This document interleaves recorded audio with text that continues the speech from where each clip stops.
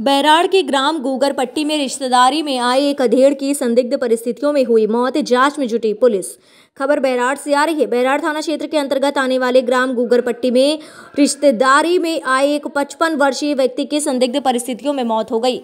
मौत का मामला जैसे ही सामने आया है, बताया जा रहा है कि कोलारस विधानसभा क्षेत्र के तेंदुआ थाना क्षेत्र के ग्राम गोधरी के रहने वाले मथुरा प्रसाद पूरी उम्र पचपन वर्षीय निवासी गोधरी अपने साले मुन्ना गिरी के साथ गुरुवार को रिश्तेदारी में ग्राम गूंगर पट्टी में आए थे।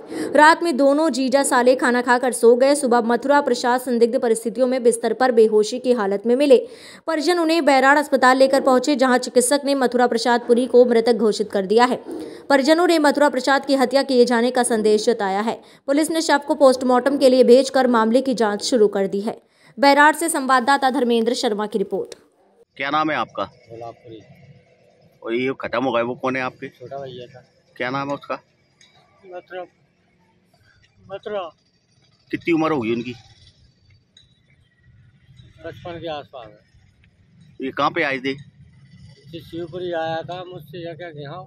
तो मैं भी साँसें लिया। हूँ सास को लेने आया था। कहाँ पे? शिवपुरी। सुपरी फिर उसके बाद ये कहाँ पे मिला ये? ये काम लो बटे भाई गाँव है बटे भाई की बगल में। अच्छा। आपको कैसे पता लगा कि ये खत्म हो गए? इनने सवेरे ही फ़ोन लगाया। अच्छा। आपको क्या लगता है क्या कैसे क्या हुआ होगा उनके साथ? अब क्या पता रात में इन्होंने क्या क्या